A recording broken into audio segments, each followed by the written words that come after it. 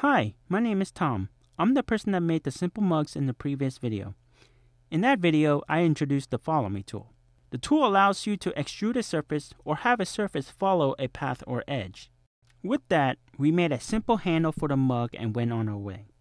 In this video, I will demonstrate other techniques with the Follow Me tool, so this is like a follow-up for the Follow Me tool.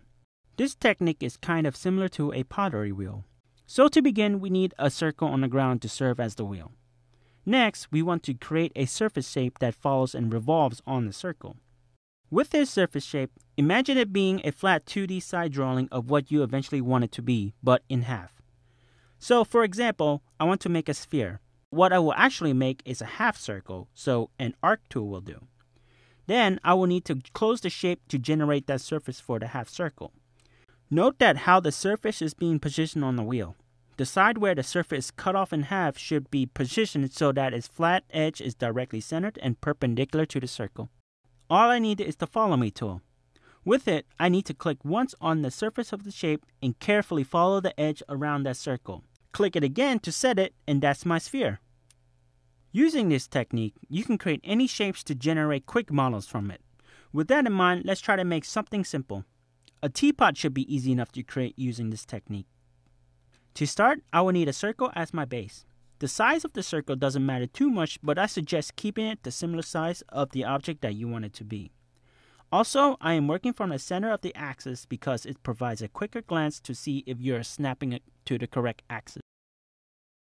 Continuing on, I will start to make my shape of the pot with the lines and arc tools. I am imagining what the pot would look like if I have drawn it on a flat piece of paper. As I finish the outer shape, I come back to the middle, then I close off the shape to generate that surface. After creating the pot, I inspect the pot for anything weird that stands out. While doing so, I notice two things. The surface of the outside is blue, and the bottom of the pot is missing. To fix this, first I can select the entire pot, right click to bring up the extra menu, and select reverse face. That should fix the blue surface. To fix the bottom of the pot, I can easily replace the bottom with the line tool. With the line tool, I can click on any point on where the edge is and click on another point next to that first point. That should close the entire bottom. Now that the pot is done, I will start on the lid.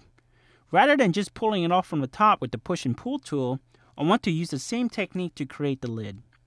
For this lid, I want to keep the same size as the top of the pot so it looks like it will fit. To do so, I will need to reference the top edge. First, I will make the pot into its own group so I won't affect it as much as I'm using the line tool over top of it.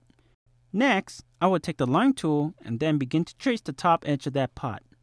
I can hover my cursor over the edge until it snaps to a point, start off my line there and continue to click on the next point as I make my way around. As I make my way around, I sometimes lose myself on where I began, because I am tracing directly on top of an edge that is in the way. As I'm tracing the edge, if the shape of that I'm drawing does not close, the line tool will stay active. As I make a click with the line tool, it generates a dotted line that represents the next line. If I don't immediately close the shape, that dotted line will always be there. So I can wiggle my cursor around to see if it's being followed by a dotted line. Since the pot is its own group, the shape that I drew should move with the pot. So as I move the pot down, I can see the shape that I traced. So now that I have the top shape, I can continue to make the lid the same way I did with the pot. So I was making the shape for my lid, I noticed the shape was off-centered by a bit. I usually like to keep the shape in the center of the circle base so that it revolves properly and doesn't create any problems later on. After that's all aligned, I just need to finish up with the Follow Me tool, select the surface, and trace the edge of that circle. After I closed off the shape to get my lid, I noticed that my lid was segmented vertically. This is because I used the line tool to create a circle, rather than using a circle to create a circle. So technically, I made a 24-sided polygon. Now that the lid is completed, I can make the handle and spout using the same technique that I used to make the handle for the mug. I just need the path for my handle, my spout, and the surface that would extrude and follow along those paths.